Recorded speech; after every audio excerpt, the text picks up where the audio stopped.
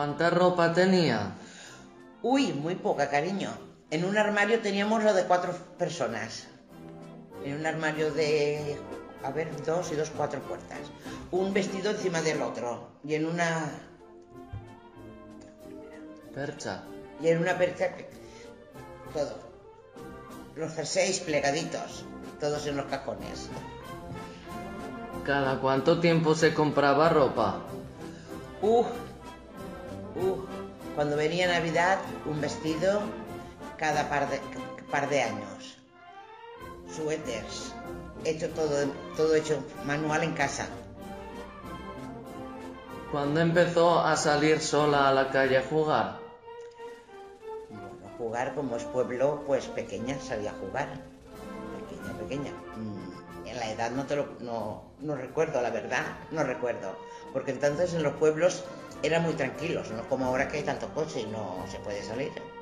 Pero entonces un carro es lo que venía y alguna moto. Y de poca cilindrada. Mobilet, que era tipo bicicleta con un motorcillo para que no pedaleara.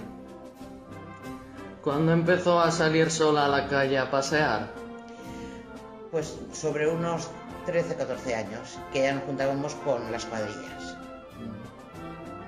¿En qué momentos o para qué salía sola de casa? Pues para ir al mercado, que íbamos todos los días porque entonces no había nevera. Vino pues también más tarde. Y se hacía la compra diaria. El pan se amasaba tres días a la semana. Se vendía muy poco, elaborado había muy poco de pan entonces, en aquella época. Y el viernes se cocía el pan hasta el lunes. Así que el domingo era pan medio duro. ¿Había cine? ¿Iba? ¿Qué tipo de películas veía? Uy, pues había cuatro, tres, dos, tres, cuatro, cuatro cines. Cuatro y en verano cinco. Estaba el de verano. Películas de Marisol, Joselito, musicales de juventud. Si alguna vez me iba con mi padre era de guerra. Eran bélicas. ¿Qué otro entretenimiento existía? ¿Bailes, paseo, bingo? Mm, paseo. Paseo por la carretera o por la calle donde estaba el cuartel de la Guardia Civil, vuelta arriba y vuelta abajo. ¿Cada cuánto tiempo iba al centro de Valencia? ¿Cómo iba? Pues íbamos en autobús o en el tren.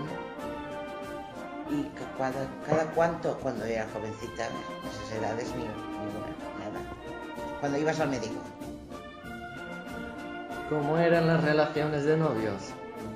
Uy, para ir al cine tenías que ir con, con una hermana, con la madre, con la tía, siempre con acompañantes. Cuando se empezaban unas relaciones, se empezaba primero, claro, como amigos, como íbamos en cuadrilla, de por Pascua y por mm, Navidades, pues salían muchos noviazgos de esos, de esos grupos. Pero luego para entrar, algunos ya se conocían cuando sí eran amigos, pero si no se conocían, pues a lo mejor para entrar tardabas un mes para que entrara el novio en casa. ¿Qué hacía la gente cuando había un entierro? Pues antes la gente, pues ahora antes se ponía a los lados de las casas, de las plantas bajas sobre todo, como unas cortinas a los lados negros, unos crispones negros, y iba el cura, se hacían los rosarios, se hacían rosarios en casa, antes de ir el cura a por el difunto. Se hacían tres, ros- tres rosarios, después venía el cura y así llevaba el muerto a la- a- a la iglesia, hacerle los responsos y de ahí ya al cementerio.